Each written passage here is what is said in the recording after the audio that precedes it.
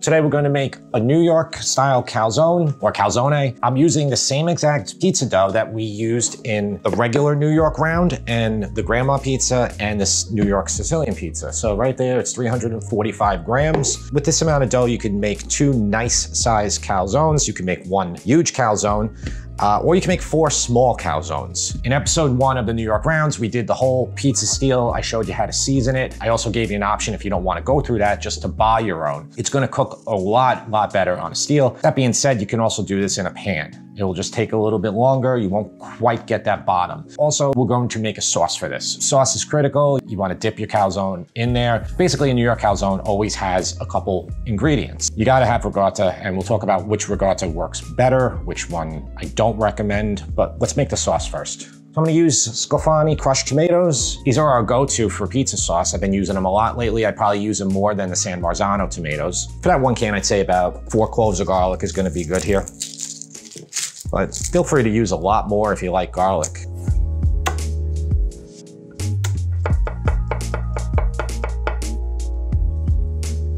Get the heat down, medium low to low.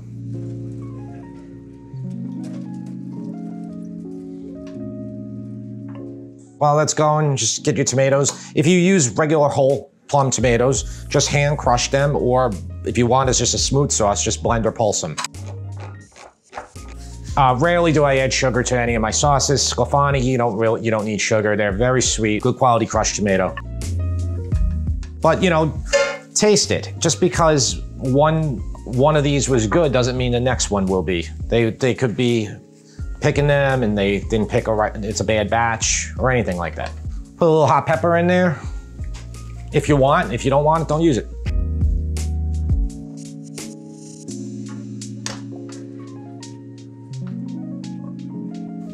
All right, I'm gonna put those tomatoes in.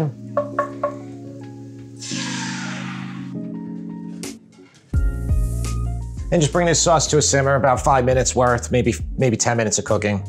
Give it a little taste. When you like it, then we'll move on to making, shaping the dough, making the calzone. And these quick sauces are like, they're the exact opposite of a Sunday gravy or a Sunday sauce. So a Sunday sauce would be the meat, whether it's sausage, braciole, meatballs, anything like that, pork would really, really flavor it. It would dominate the tomato flavor. So for this, the garlic is like the dominant flavor here with the tomato. They're both delicious and it just really depends which one you're in the mood for. Each tomato brand will have a little bit different sodium level, so Make sure you kind of taste it yourself to know how much you want to put in.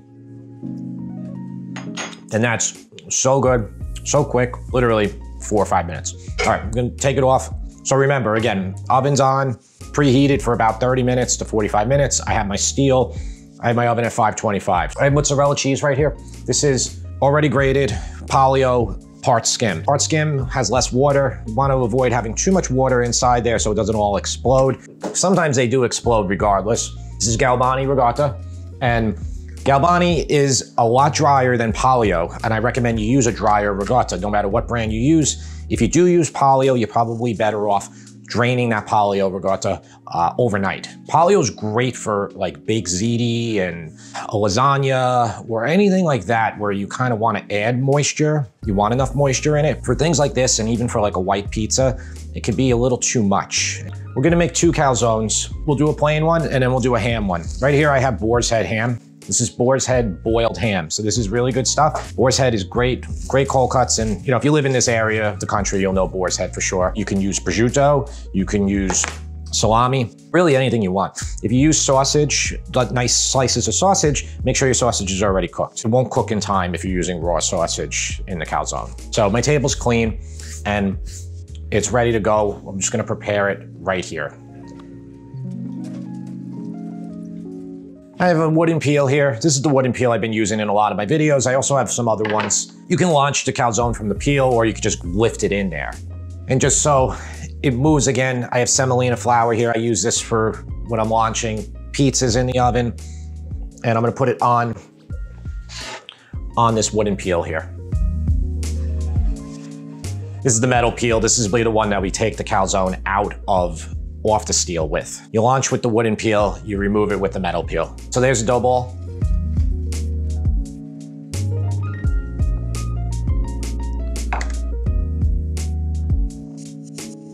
I'm just gonna divide this in half right away. So it's easier when you start with a circle. So if you were gonna make this into one whole calzone, it would be easier to shape, but we'll be all right if we do this. Try to bring it back a little bit. All right, so I'm just gonna start pushing it down with my fingers. And this doesn't matter about keeping a rim here or anything like for a regular pizza. So that makes it, that makes it a little bit easier. Pull it a little bit off. Dough's a little cool right now still. Should have been warmed up a little bit more. All right, I'm just gonna stretch a little bit with my knuckles or even my fingers because it's very small. You could connect that spot a little bit if you need to, that broken spot with a little bit of water, pressing it together. It will probably connect. Okay, this is pretty good right here, like this. And there's our size right there. So it's about an eight inch, eight inch circle. I'm gonna cover that with plastic and then prepare the other one. This one's a little bit better. Not as, not, I think I have a little bit more dough here. I don't know if I, if I divided them equally try to keep a circle as best you can because we're gonna be folding over to make that half moon. Basically, instead of dividing that, I should have just made it one really big one or started with smaller dough balls. All right, so here we are. We'll do the, do the regular cheese one first. I'm just gonna put a little bit of ricotta in the middle, not too much. Not that much, which is probably a couple ounces. Pecorino Romano. About that much, couple, couple teaspoons, tablespoon. Put a little bit of salt and pepper in here. You don't really have to do that much salt because the pecorino's salty, but you know, you do have the ricotta that doesn't have much flavor. So a little bit. And then here's the mozzarella. I'm kind of just gonna ball it up. Get it right in the center. Okay, and then just fold over. Take anything like a spoon, anything hard, and just really really press down a lot here.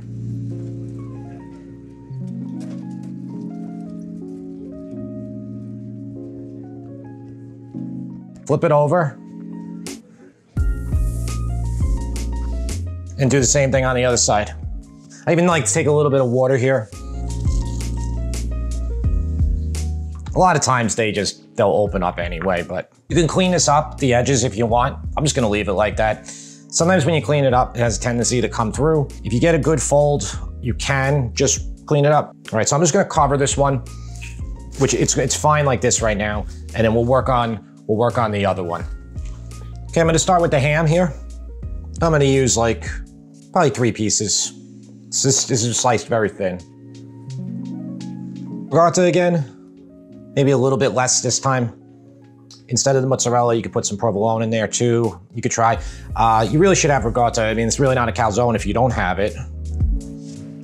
But, I mean, if you don't have it, what's really going in there then? It'll just be flat and it'll be a massive air pocket when it cooks because everything will just will just sit sit at the bottom. A little salt again.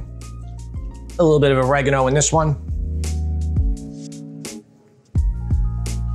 Pecorino. Okay, and the mozzarella, I'm gonna ball it up again.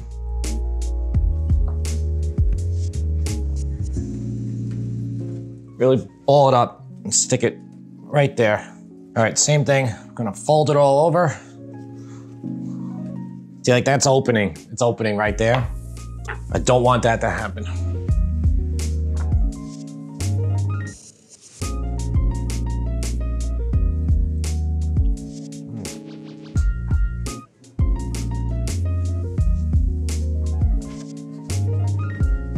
Just got to get it right off the edge. Just gonna just tilt it in right into the oven. Gonna cut a little line in it. A little line on both of them and a little bit of olive oil on top.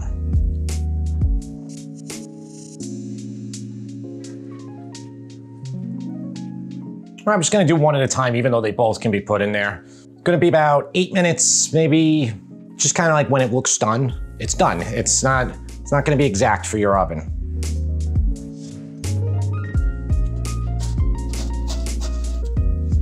So set your stopwatch, set your timer, set it for about six. to keep an eye on it. If your oven's a little uneven, you can just kind of use your metal peel and you can turn it.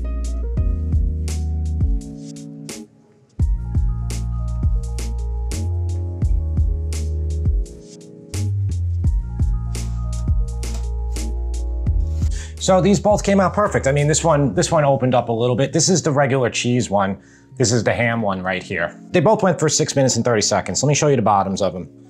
Okay, that's a really good looking bottom. Now, this has, this has this odd shape here because that's where I connected it after I split the dough ball. Same thing, that's a great looking bottom. Whoop. And that, that's really hot right now. So what I recommend you do is before you eat them, let them sit for about five, maybe, maybe even like eight minutes before you cut into them. Everything will solidify more. So yeah, that's oozing out right now. If you can see that, definitely let it sit a little bit longer than that. I'm gonna take a bite.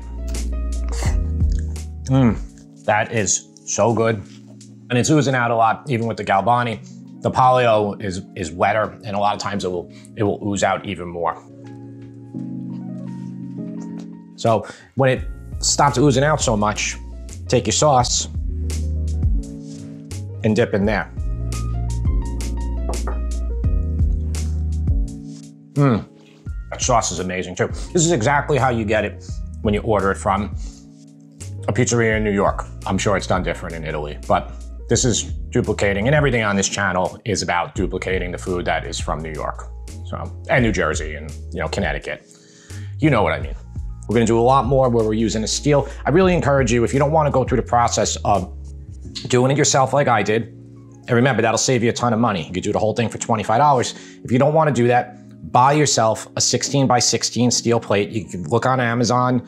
Uh, I have a link in the description for one. I think it's a 14 by 16. You can find another company. You can even go to a steel place. There's a variety of options, but once you get it, it truly is a game changer. It's a million times better than a pizza stone, and it's a billion times better than using a just a baking sheet in your oven. I can't stress that enough. I've been cooking my whole life and every time I'm making this now, I am amazed at how good it is. The next pizzeria I'm gonna go, I'm gonna go to, I'm gonna have to drive into L&B Spumoni and to get their pizza just simply because I want to try my hand at, at making it. But that's going to be probably the first pizza that I buy in a very long time. And when I go out there, I'll probably buy probably buy two of the pies so I can really, really test it. But I love doing this. It's probably the most most fun I have on this channel is anything that involves the pizza. So let me know any other ones that you want me to make and, uh, and I will definitely do it. I'll see you next time.